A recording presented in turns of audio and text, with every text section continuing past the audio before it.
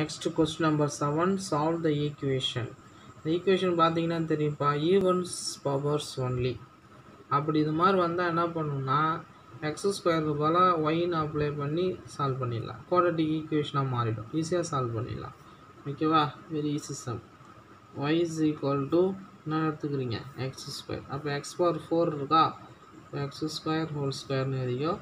Fourteen x square plus forty five அப்போ இது போல் என்ன எழுதிக்கலாம்? Y square minus fourteen y plus forty five five factor எடுக்கும் ஃபார்ட்டி ஃபைவ் மல்டிப்ளை பண்ணால் ஃபார்ட்டி ஃபைவ் வரணும். ஆட் பண்ணால் nine five or forty five ரெண்டுத்து minus கொடுத்துக்கோ.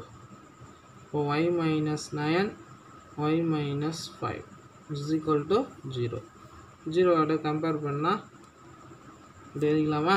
Y minus five is equal to zero y is equal to nine y is equal to five அதில் first one y is equal to nine எடுத்துக்கோ இப்போ ஒய்னா x square சொன்னோன்னா இப்போ nine அப்போ x is equal to plus or minus three second one y is equal to five அப்போ x square is equal to five x is equal to plus or minus root five okay students இப்போ now complete the exercise ஃபுல்லாக முடிச்சிட்டோம்.